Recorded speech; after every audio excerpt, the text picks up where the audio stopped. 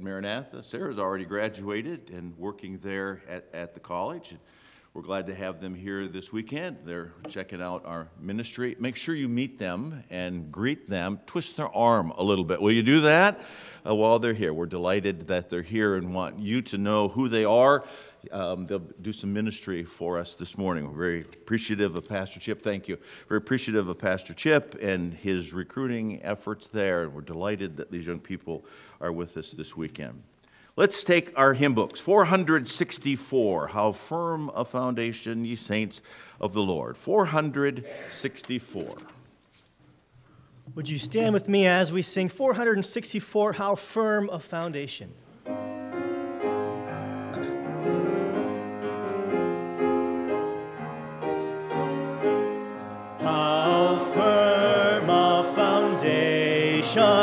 Saints of the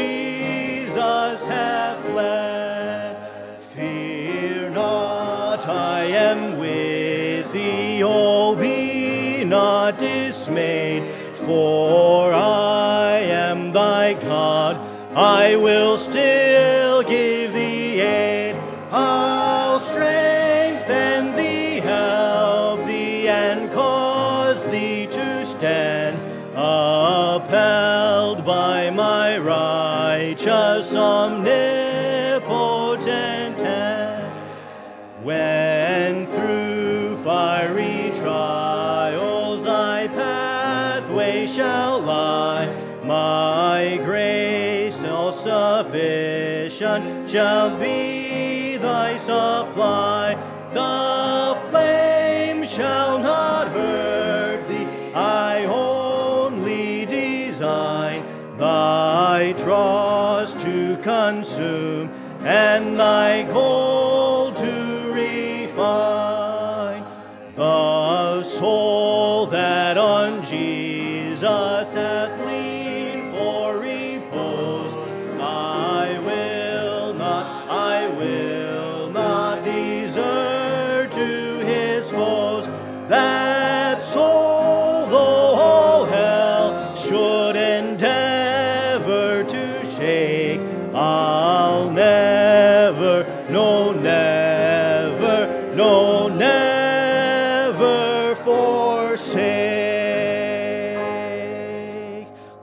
Lord, we thank you for the firm foundation that we have in you, in your word. Would you strengthen our hearts today on it?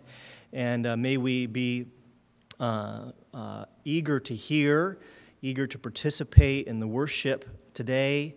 May our hearts be challenged. May we go forth from this place stronger in our faith than when we were when we came in. Would you bless us today throughout this morning? We pray these things in Jesus' name. Amen. Would you turn to 530? 530, we do have a missions theme this morning, and so we're going to sing several of our missions hymns. Here's one of them 530 Rescue the Perishing, Care for the Dying. Let's sing together 530.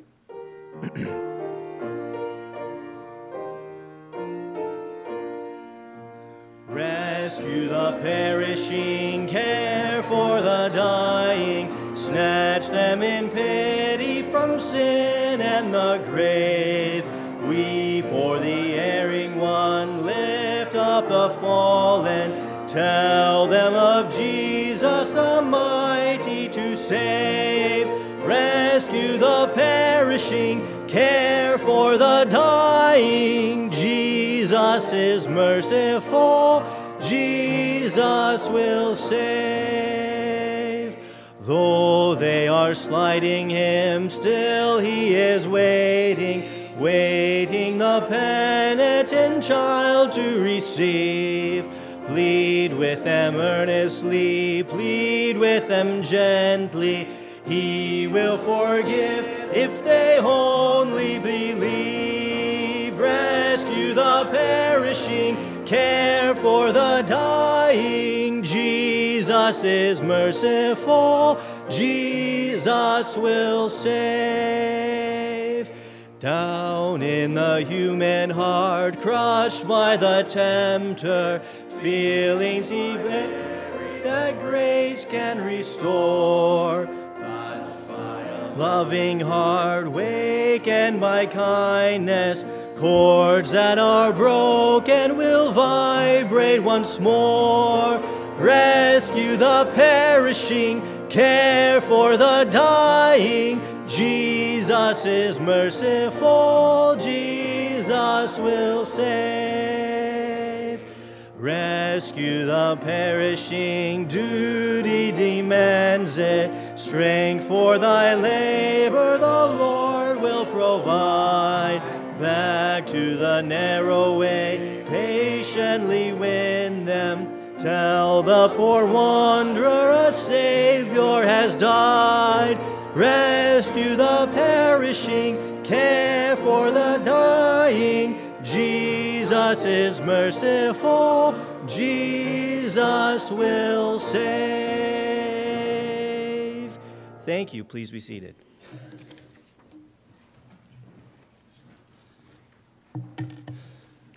We're in 2 Corinthians chapter 4 today for our scripture reading. 2 Corinthians chapter 4. Pastor uh, Chip asked me uh, uh, this week, you know, what, what's your uh, favorite scripture passage that would help us with this week? And of course, Acts 13 is where we are taking our theme uh, for this weekend and throughout the whole year, sending the gospel light. But another passage that talks about the same idea of sending the light and a, a passage that uh, I'm in, in, in personal devotions right now, using a few devotional guides to help me, is 2 Corinthians chapter 4. Great, great passage. If you uh, don't have a Bible, I'd like to invite you to take one of the Pew Bibles uh, that's in front of you, and you'll find it on page 688 uh, in the Pew Bible so that you can follow along as we read. 2 Corinthians 4, verses 1 through 6. Therefore, seeing we have this ministry, as we have received mercy, we faint not, but have renounced the hidden things of dishonesty, not walking in craftiness, nor handling the word of God deceitfully, but by manifestation of the truth, commending ourselves to every man's conscience in the sight of God. But if our gospel be hid, it is hid to them that are lost in whom the God of this world hath blinded the minds of them which believe not, lest the light of the glorious gospel of Christ, who is the image of God, should shine unto them. For we preach not ourselves, but Christ Jesus the Lord, and ourselves your servants for Jesus' sake. For God, who commanded the light to shine out of darkness, hath shined in our hearts to give the light of the knowledge of the glory of God in the face of Jesus Christ. May God add his blessing to the reading of his word.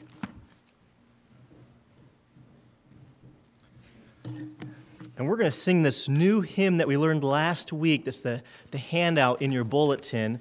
Send the gospel light. It, it matches the theme for the weekend, it matches the, the scripture text we just read. And uh, we, we learned it last week. If, if you missed last week, you'll have to learn it this week. So we're going to sing. This is a Fanny Crosby hymn, and we just sang uh, one, Rescue the Perishing. This is another one that's not in our hymnal, and that's new to us. So let's sing together. Send the light. Oh, send it quickly. Let's sing together. Send the gospel light.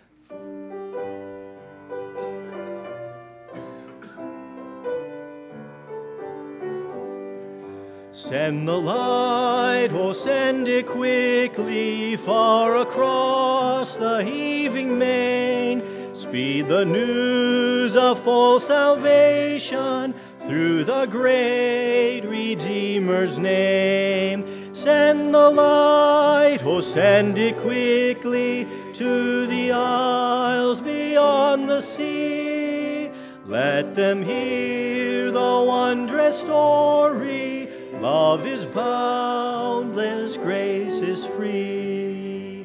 Send the light where souls are dying in their darkness, gloom, and night. Haste, oh haste, the days are fleeting, and the hours how swift their flight. Send the light, oh send it quickly to the isles beyond the sea. Let them hear the wondrous story. Love is boundless, grace is free. Send the light, the world is waiting, hands are stretched across the main.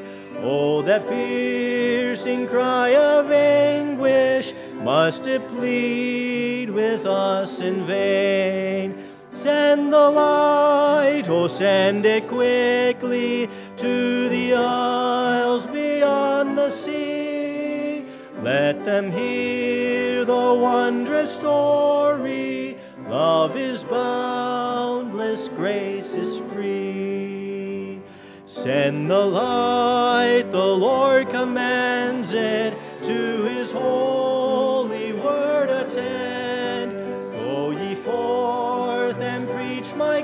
gospel. Lo, I'm with you to the end. Send the light, oh, send it quickly to the isles beyond the sea. Let them hear the wondrous story. Love is boundless, grace is free.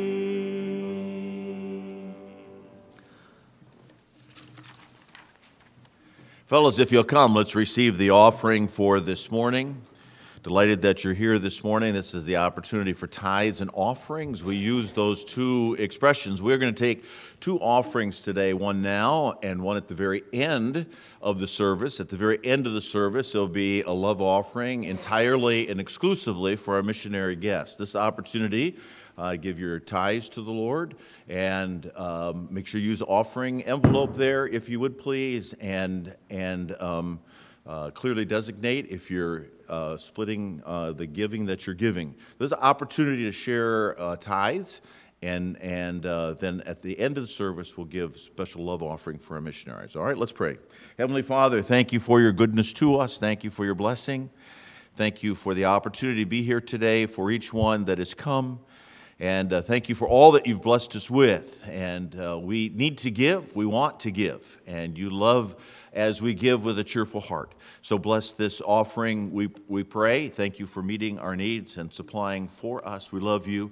And uh, please receive this from grateful hearts. And we ask it in Jesus' name. Amen.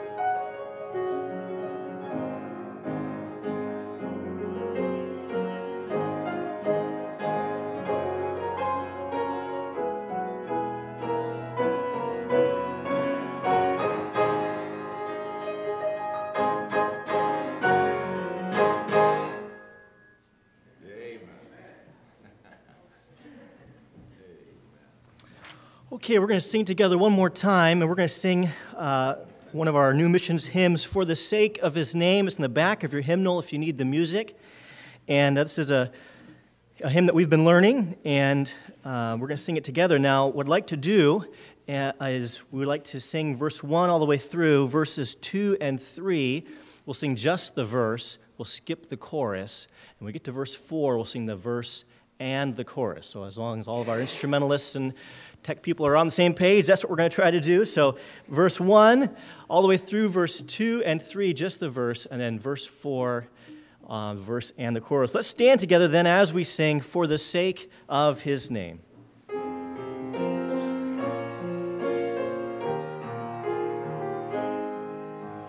Go to the world for the sake of His name,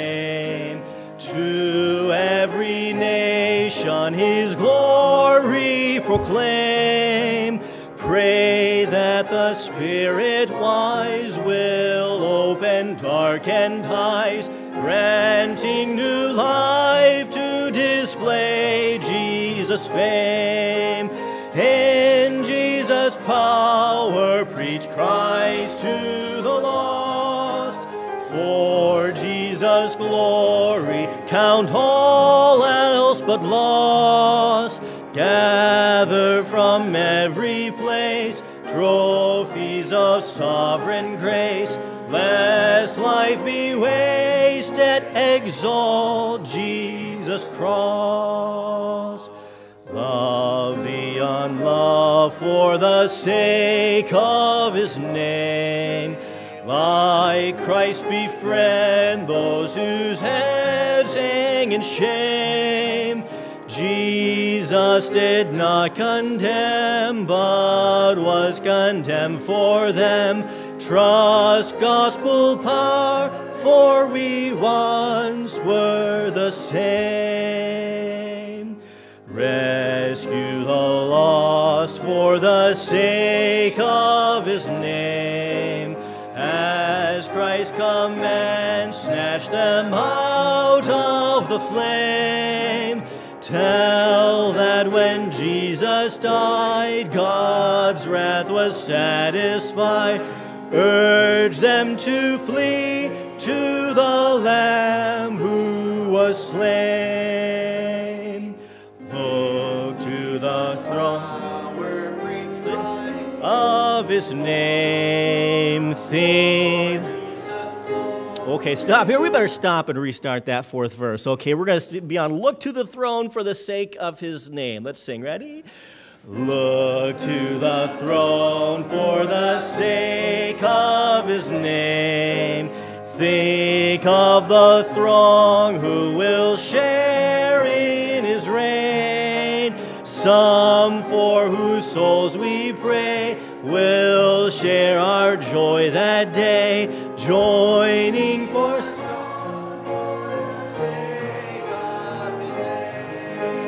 In Jesus' power, preach Christ to the lost. For Jesus' glory, count all else but loss. Gather from every place trophies of sovereign grace. Lest life be wasted, exalt Jesus' cross. Thank you. Please be seated.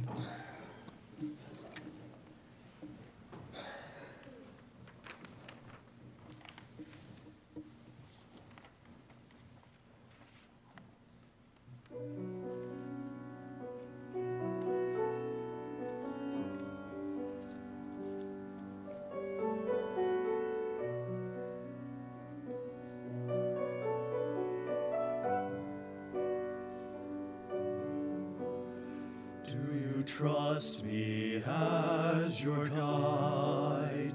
Though my path for you is steep, will you lean on your own way or resolve to follow me?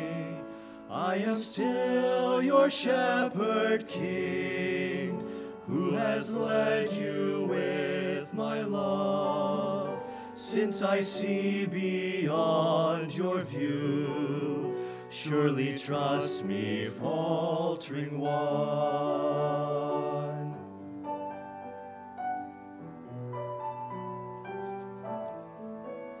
Do you trust me as your rock while the storm still rages on? Every day new grow. Every night I give a song, a song since I reign as Prince of Peace. Set your mind on things above.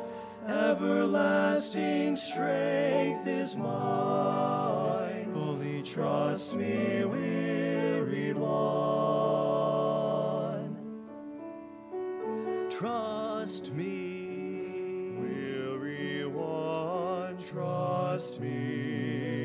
trust me, weary one.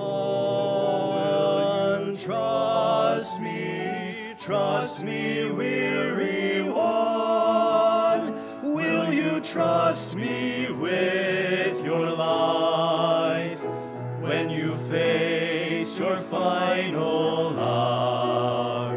Soon to leave this broken world, destined for Jasper tower. I am he who once was dead, now alive, my suffering done.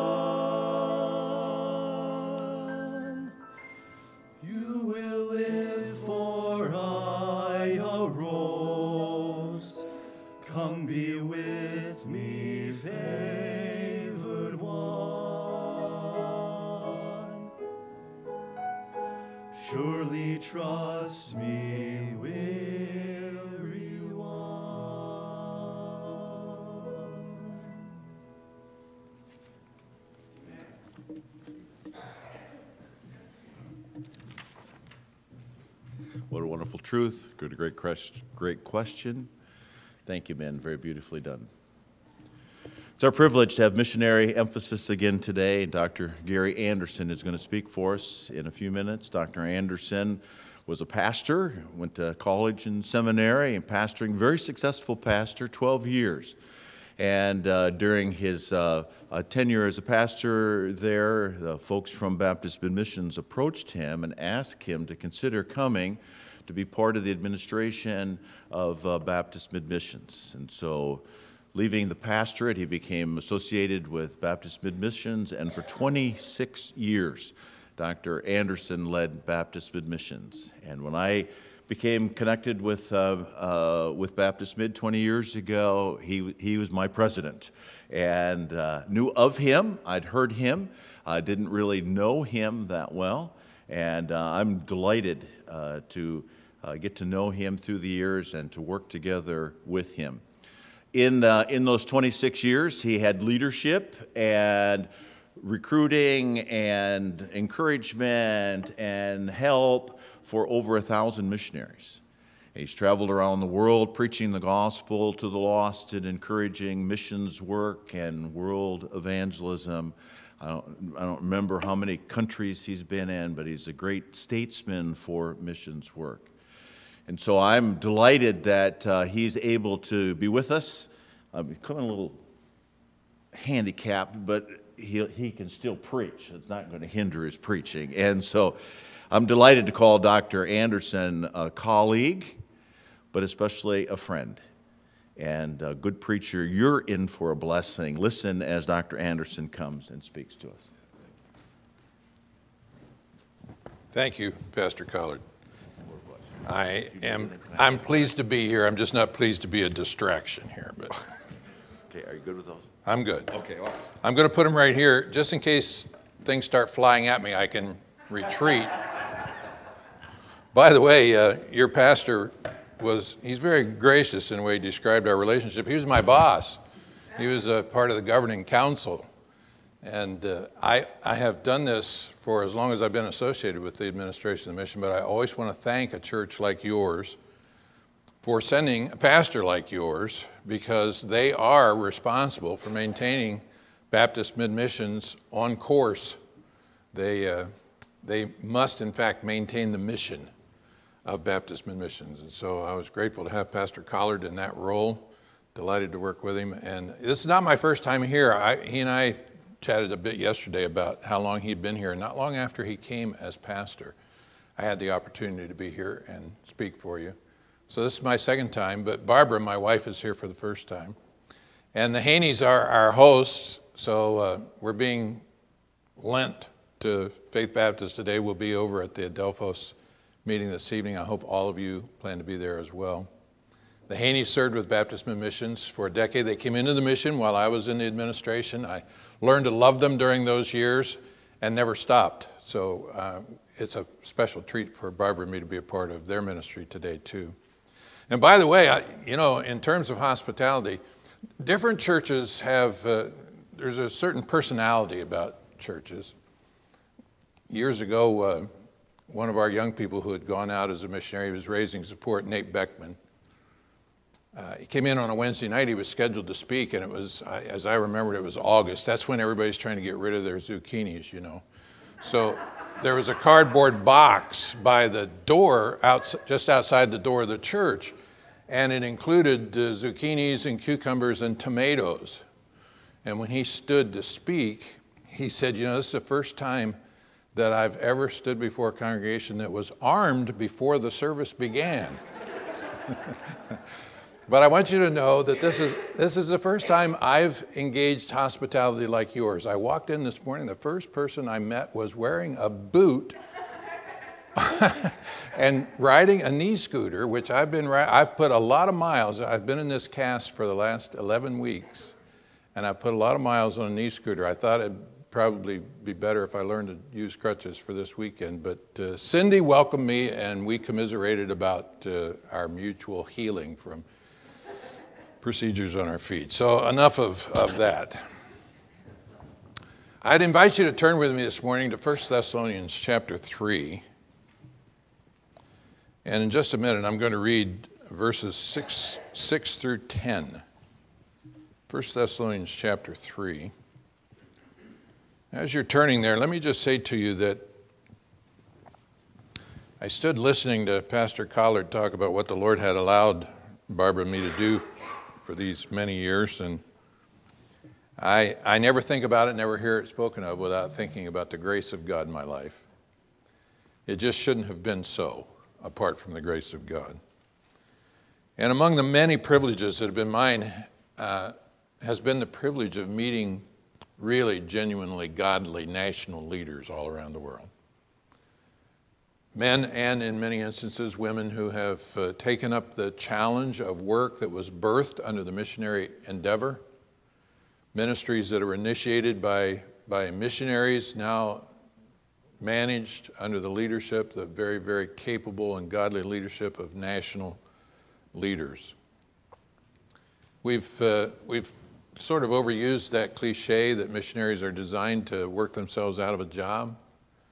Uh, until Jesus comes, none of us are going to be short on job. But there is something to be said for missionary endeavor resulting in the development of national leadership that will come to the forefront and, in fact, lead as the missionaries had previously or initially led. And I wish I had time to tell you several stories today about some of those men whom God is using today around the world. I want to, I want to speak to it rather generally today in terms of a few questions to start off with.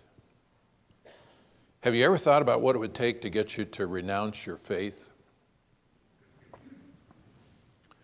What, what if being a Christian was illegal? What if established government authority either turned their head away from what was going on in terms of persecution or maybe even sponsored it? What if, what if the dominant religion where you were serving Christ was militantly opposed to Christianity?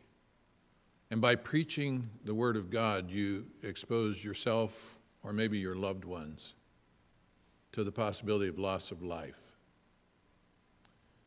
It's a it's, it is a ghastly reality today that 360 million people in this world, believers, 360 million believers today, live under those circumstances, where by virtue of nothing more than their profession of faith in Christ as Savior, they're at risk of personal physical violence or loss or damage of personal property, or perhaps even arrest without the opportunity for a trial and incarceration over extended periods of time without reprieve. 360 million people as we meet in this place and do so freely. We ought to be very, very grateful for the freedoms that are ours. As we meet in this place today, 360 million believers live that way around the world. I want you to follow along as I read 1 Thessalonians chapter 3 verses 6 through 10 and understand as we read these verses that the only theme in 1 Thessalonians that occurs more often than the Lord's return, the Lord's return being a theme that appears in every one of the five chapters of 1 Thessalonians, the only other theme that occurs repeatedly in the book exceeded only by references to the return of Christ, is the idea of affliction, persecution. 1 Thessalonians chapter 3, starting in verse 6. Paul says, But now when Timotheus came from you unto us and brought us good tidings of your faith and charity, and that you have good remembrance of us always, desiring greatly to see us as we also to see you. Therefore, brethren, we were comforted over you in all of our affliction and distress by your faith. For now we live, if ye stand fast in the Lord. If I attached a title to this message, it would be No Retreat. And it would be lifted from that phrase that you stand fast. It's a military term that means you're not giving ground, you're holding your ground. No retreat. Verse 9 For what thanks can we render to God again for you, for all the joy wherewith we joy for your sakes before our God, night and day praying exceedingly, that we might see your face and might perfect that which is lacking in your faith? Persecution, affliction. I can't talk to you today about what has transpired in my life because I don't believe I've ever been made to suffer for my faith. But I can tell you that it is the experience of many around the world today. And the Thessalonians, the fact that persecution is referenced so often in this book, is evidence that the Thessalonians suffered severely. In fact, this book contains the most extended description of the rapture contained anywhere in Scripture. That's in chapter 4. And in chapter 5, Paul assured, in a way that is not repeated anywhere else in Scripture, he assured these believers that they were not appointed to wrath, that the, that the tribulation, the great tribulation that will come just before the triumphant return of Christ, that that tribulation was not occurring. They believed that what they were experiencing was the great tribulation. They wondered whether or not they had already entered what was described in Scripture or what Paul had described to them as tremendous persecution. There are several terms that are used in the book. One of them is the word affliction. This is a common word found repeatedly in the New Testament. In fact, it's, it's used over 40 times. Used three times in this book, in chapter 1, chapter 3, two different places. Tribulation. Tribulation is a word which means to be crushed, to be under a heavy weight. It's used twice in this book. It has, in uses outside of the scripture, it was used to describe a path that was well worn. The idea being that a rut had been carved into the path, or perhaps it had been trampled until it was hard and resistant. In this case, believers being treated harshly, trampled down. The word distress occurs twice. And the word persecution, which means to be in hot pursuit, occurs not in 1 Thessalonians, but graphically in 2 Thessalonians. Also, in nine other places in the New Testament. The Thessalonians became worthy examples of those who refused to retreat in spite of the hardships that they faced. So, the first thing we want to consider is that their faith was birthed within the context of affliction. In other words, They knew what was coming when they placed their faith in Christ. They weren't enticed to, to express faith in Christ and then inform. No, they knew beforehand. Look at chapter 1. If your Bible is still open there to 1 Thessalonians chapter 1, I'm interested in verses 6 and 7, where Paul explains some of this. Chapter 1, verses 6 and 7. And you became followers of us and of the Lord, having received the word in much affliction with the joy of the Holy Ghost, so that you were examples to all that believe in Macedonia and Achaia.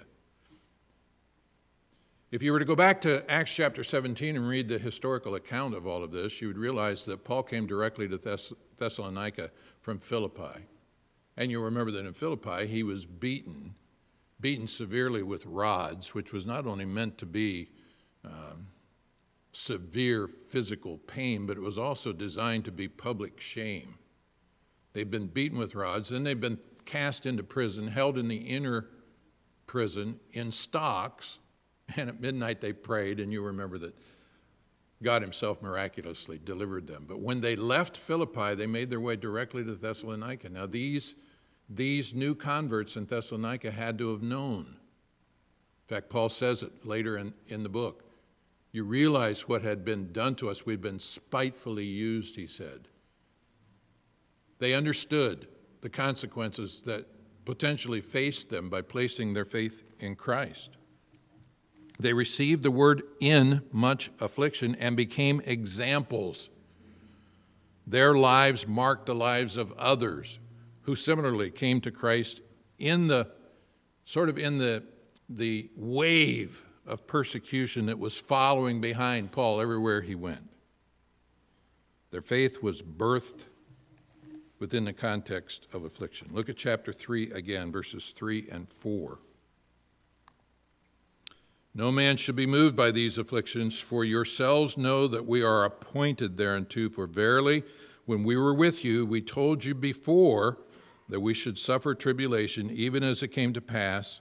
And you know, for this cause, when I could no longer forbear, I sent to know your faith, lest by some means a tempter have tempted you, and our labor be in vain. He said to them, You, you were informed beforehand that you were appointed. We won't take time to go back to Acts chapter 17, but there's a fascinating term that's used there when the historical account of the founding of this church is recorded.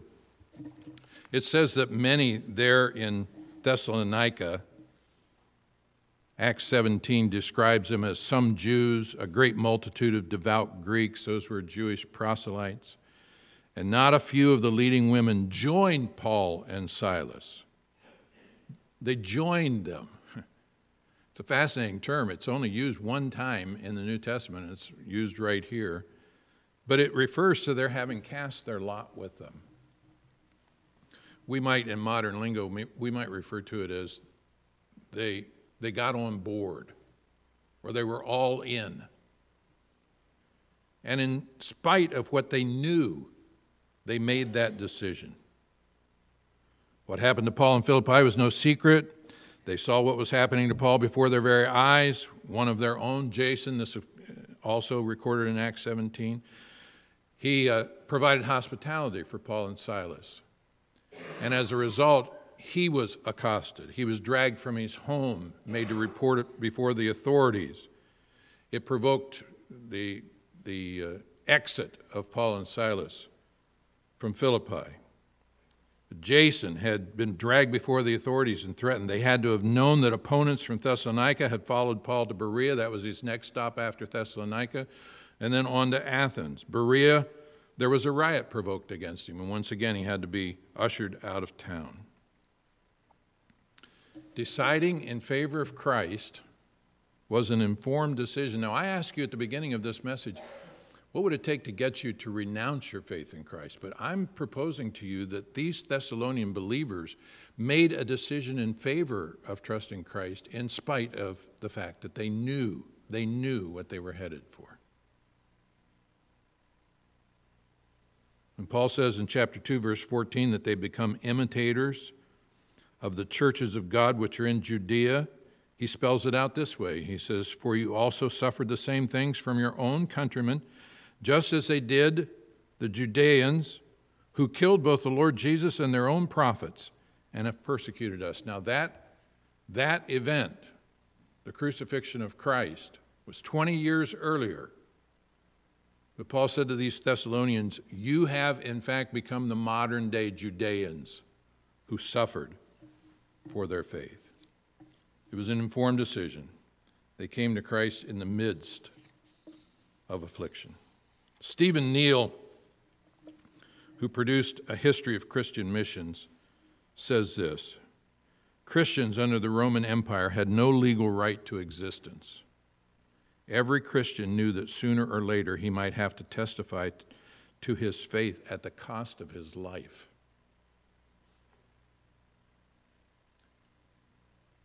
What would it take to get us to retreat from our faith? In the case of the Thessalonians, we have to be impressed with the fact that it didn't keep them from trusting Christ. Hardship they knew was their course. But there's more in this passage. Their faith was unwavering in the face of affliction. They came to, they came to faith in Christ in the face of affliction, and their faith was unwavering in the face of affliction. I already told you this is where the title of the message comes from. They did not retreat. Timothy had been dispatched to Thessalonica. The process had been that Paul and Silas, along with Timothy, had moved through Thessalonica on to Berea, where they faced a riot, on to Athens. And from Athens, Paul sent Timothy back to check on the Thessalonians. He'd been dispatched when Paul's concern for the believers grew to a point that he couldn't keep a lid on it anymore. You still have your Bibles open? I'm sorry to, to have you look at so many different passages, but this is, a, this is a, an account that is pregnant with implications. Verse 1 of chapter 3 Wherefore, when we could no longer forbear, we thought it good to be left at Athens alone. When we could no longer forbear, when we couldn't stand it any longer. He repeats that phrase in verse 5 For this cause, when I could no longer forbear, when he couldn't keep a lid on his anxiety any longer. I don't know how you pop corn at your house, but at our house, we, we pop it in a, an aluminum cooking pot. And uh, depending on how much you put in there, it has the capacity to pop until it lit, lifts the lid right off of that pot. Paul said, I couldn't keep the lid on it anymore. I was so anxious over what, it, what was transpiring in your life that he sent Timothy to establish and encourage words that mean to help them stand up straight, come alongside, to put an arm around them, to be for them a resource because he knew life had become very difficult for them. And Timothy's report was that they were standing fast, holding their ground, refusing to retreat. It's such a fascinating passage. He said, This was good news to me. That's the Greek word euangelion. It's the only place in all of the scripture that it's used to describe anything other than the presentation of the gospel, the good news of Jesus Christ. Here, Paul says, the account that Timothy brought to me that you refused to retreat, the fact that you were holding your ground, the fact that you would not back up on your profession of faith, that became for me such good news, such euangelion. It was equal to the gospel for me when I heard that your faith was remaining strong in spite of all that you were enduring. In fact, he said, I, I can live again. I read those verses to you when we first began. I can live again. It's as if you and I might say, I could finally breathe. And what brought Paul such great comfort was the knowledge that they were standing strong in their faith. There are several references in this book that allow us to understand how tender-hearted Paul was towards these new believers. You know, we, we sometimes forget that the New Testament is fashioned around church after church after church. It was filled with first generation believers. If I were to survey this crowd this morning, and ask you how many of you come from families where your parents were believers, there would be a number of hands raised. How about your grandparents? There would still be hands raised. And you might even be able to go back three generations and say, yes, there have been believers in my family for multiple generations. It was it was rarely ever, if ever, true in the New Testament. Missions was not just a sort of a side effort of the church. Missions was the church. And bringing people to Christ, making first generation believers, people who had never, ever either heard the gospel or been confronted with Christianity before. That's the milieu which in, within which the New Testament was fashioned. And that was the case here. These believers, these first generation believers, Paul said, When I learned that you were standing strong, it was like the gospel to me. It was such good news. I was able to breathe again. But he'd already told them a little earlier, chapter 2, verse 7, he said, I was gentle among you, like a nursing mother cherishes her child. Or chapter 2, verse 11, I comforted you and, in fact, instructed you as a father does his children. In chapter 2, verse 20, he said, There's coming a day when you will be my glory and joy. Paul loved these new Christians, and he knew, he knew that when he had left, things had gotten even harder for them. And so as he moved farther and farther from them, his concern for them grew and grew. Here's a paraphrase of those few verses I had reached a point of distraction out of concern for you. The word of your steadfast faith was good news on par with the gospel itself. Knowing that you are not retreating has brought new life to me. I cannot find sufficient words to thank God for what He has done in and through you. It is a fascinating account, and we ought to think more often than we probably do that these young Christians in the New Testament faced tremendous opposition, all the way to the point of threatening their lives. And so Paul spoke eh, all of those other affectionate references to them perhaps none more affectionate than the one in chapter 3, verse 10. I read that for you previously. He was dying to know whether Satan had gained an upper hand, whether anyone had turned back, whether the church in Thessalonica was in retreat. If it had been so, his work and theirs would have been lost. He knew that if they had turned back, nobody who had genuinely trusted Christ would lose their salvation, but it might have been an indication that their profession of faith was not real. And regardless of whether that was true, the work of God would have been hobbled, and the investment that he and they had made would have been lost. But you need to understand that this epistle is not an epistle of correction. He isn't scolding them about anything. Now that he knew that they were standing strong, refusing to retreat, he prayed for another chance to minister among them not for the sake of correcting glaring deficiencies, but to perfect what was lacking in their faith. That's chapter 3, verse 10. To perfect what was lacking. That's a, a word that would describe an artist who puts all the finishing touches on his work of art. It doesn't have to be a painter, it could be a sculptor or any type of skilled craftsman. The details, put the fine details in place. Paul said, it's, It is my heart's desire to come to you again that I might, in fact, put the finishing touches on what God has already done in your hearts and lives.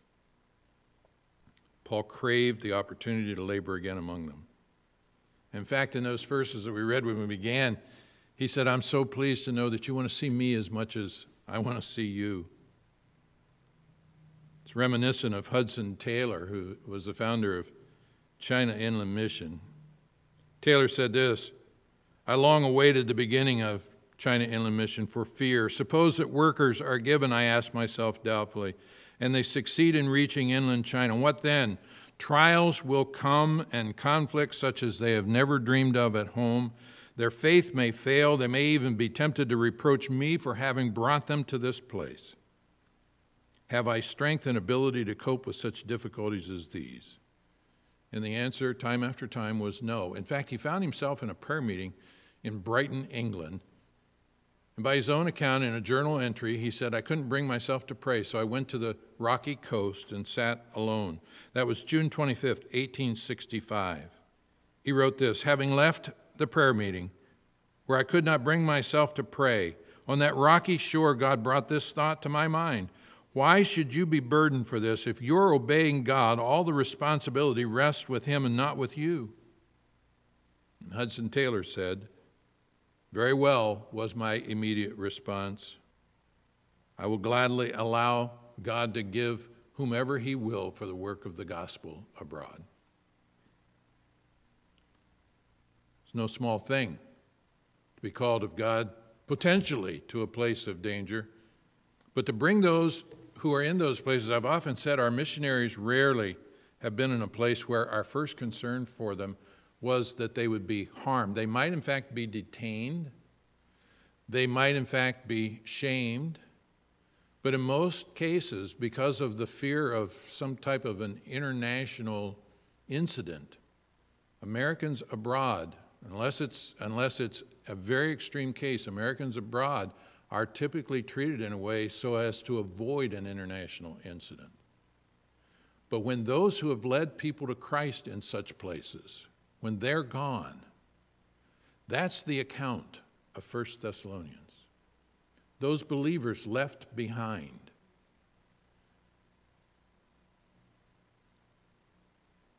I'm richer for having known individuals who have genuinely suffered. I've already confessed to you, I've never been asked to suffer for my faith. In Bangladesh years ago. I, I arrived to an account of a young man who had only recently professed Christ and had to evade his dagger wielding brother who had been dispatched by their father to kill him because he'd come to Christ. I stood years ago on, a, on the edge of a large cane field where 13 Chadian pastors had been buried alive for their faith in 1973. I met in Romania pastors who, after democracy had come to Romania, those pastors gave testimony of having spent over 20 years in prison, some of them in multiple incidences of nothing worse than calling their congregation together for prayer and being imprisoned over it. And after five or six years of imprisonment, the day they were released, they called their congregation to prayer and might have been back in jail the next day.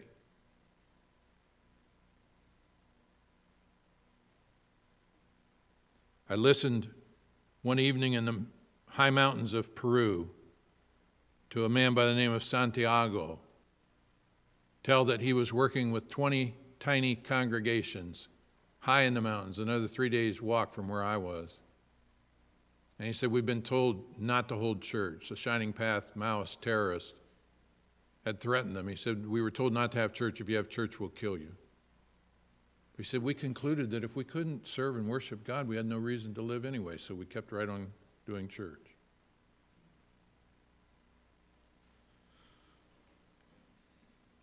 But of all of my experiences, of all of my experiences, my time in 2007 with 300 pastors of the Central African Republic had an especially profound effect on my life.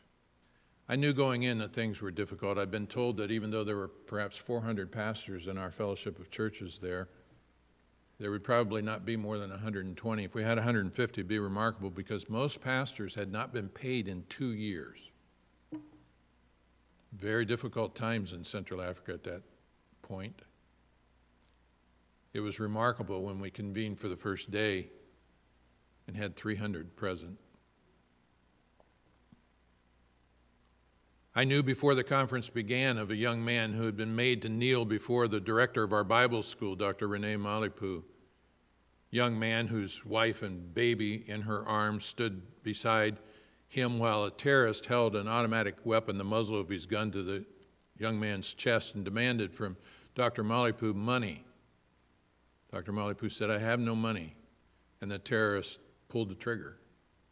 But as he did, he evidently allowed the muzzle of the gun to drift sufficiently that the bullet passed between the young man's arm and his rib cage. It left a blister across his rib cage. But the terrorist thought he'd just put a bullet through his heart, and he and his colleagues fled in abject terror, believing they'd just put a bullet through this young man's heart and God had miraculously saved his life. I'm here to tell you that God did miraculously save his life, even though it wasn't from a bullet through his heart. I knew of I knew of another young man who, when John and Paula Dannenberg first returned after we'd had to evacuate all of our missionaries for a time. When they first returned, they were way out on the eastern end of the country in Bangassou, and at nighttime, a, a Bible school student was serving as night guard, and he stumbled into a group of five men on the campus of that property. And when he realized that they were all carrying weapons, he turned and fled, and a couple of them opened fire on him with automatic weapons, and not a bullet hit him. I've, I've said of that incident that God guided those bullets as surely away from their target as he guided the stone out of David's sling towards its target. I knew of those things. I didn't know until we were most of the way through our first day of conference that two men on their way to conference, they had walked two weeks to get there. A couple of the men, because there weren't there wasn't resource to print flyers and distribute flyers, so it was just word of mouth that the conference was going to occur.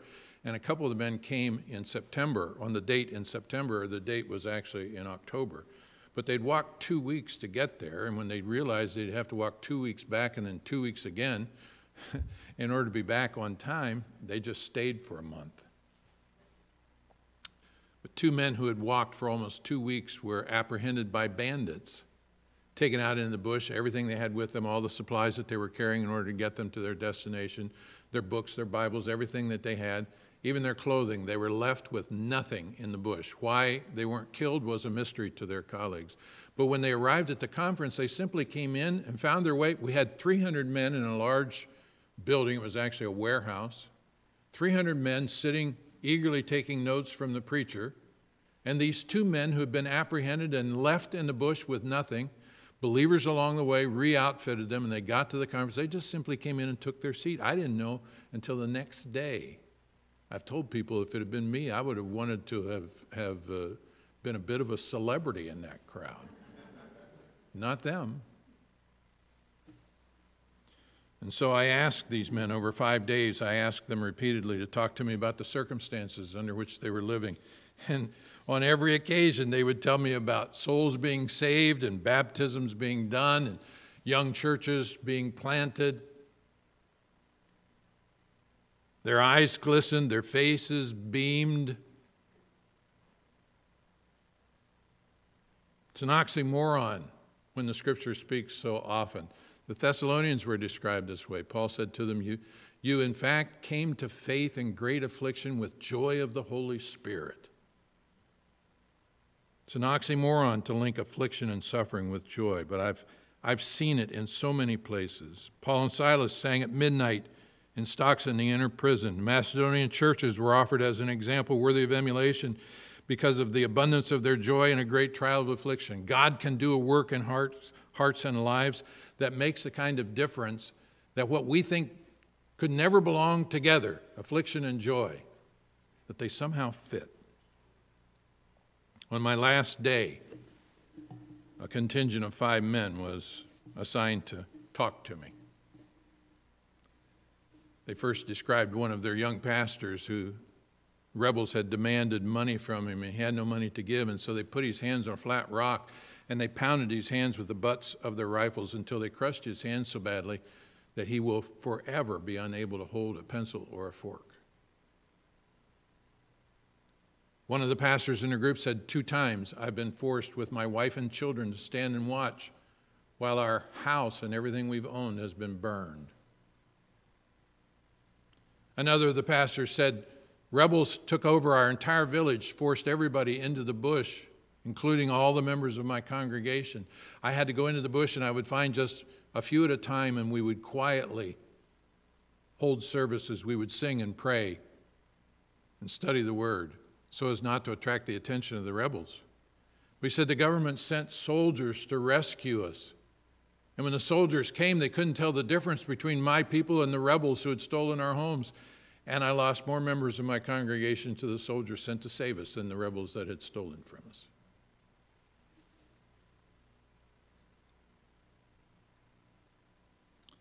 I'm just telling you, they were uncomfortable.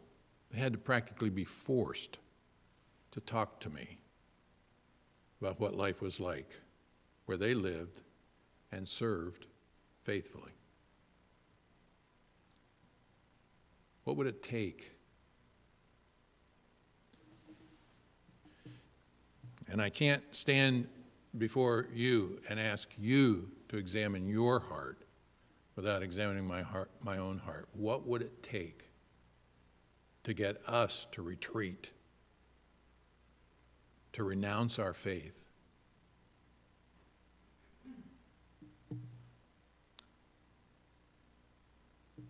Three hundred and sixty million believers are living under those circumstances today.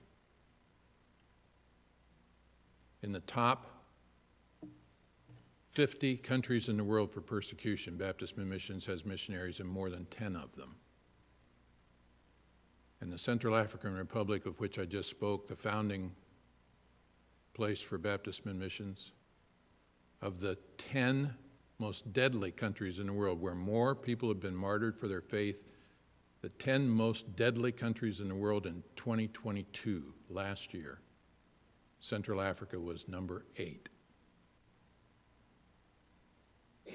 What would it take? God, help us. Help us not to be casual about our faith, about our service, about your grace in our life about the thing that you've called us to do, about the ministry that is ours to complete. Speak to us, our Father. Convict us where needing, where conviction is needed. Strengthen us where strength is lacking.